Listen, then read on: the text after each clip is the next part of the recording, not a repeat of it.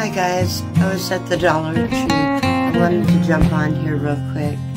Um, it's winter preparation, and winter is the season recovery and preparation. So get what you need today. Grab what you need, put it on your pantry shelves, and keep prepping, guys.